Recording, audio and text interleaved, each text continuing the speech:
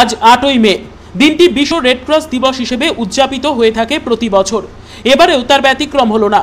সারা পৃথিবী জুড়ে আজ দিনটি উদযাপন করা হচ্ছে রেড ক্রস সোসাইটির পক্ষ থেকে, যা একই ছবি দেখতে পাওয়া যায় উত্তর দিনাজপুর জেলাতেও।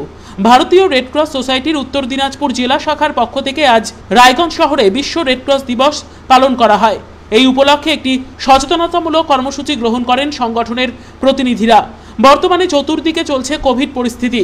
সংকটে মানুষের জীবন। তাই এমতো অবস্থায় বিশ্ব রেডক্রস দিবসকে সামনে রেখে করোনা সংক্রমণ রুখতে সচেতনতামূলক পদক্ষেপ গ্রহণ করা হয়।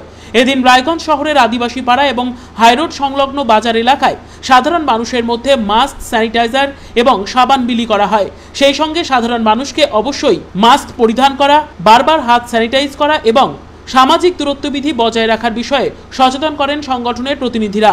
এই কর্মসূচিতে উপস্থিত ছিলেন সংগঠনের সভাপতি সুবীর কুমার সরকার, সংগঠনের প্রতিনিধি সৈকত চ্যাটার্জি সহ অন্যান্যরা। ভারতীয় রেডক্রস সোসাইটি উত্তর দিনাজপুর জেলা শাখার উদ্যোগে আজকে এইট মে বিশ্ব রেডক্রস দিবস পালিত হচ্ছে সারা পৃথিবী জুড়ে।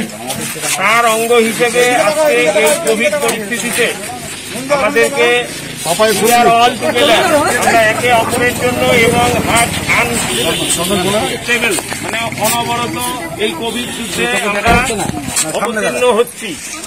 সেই পরিপ্রেক্ষিতে সারা বিশ্ব জুড়ে যে আজকে কর্মসূচি আমাদের চলছে তারই একটা পাঠ রায়গঞ্জ শহরে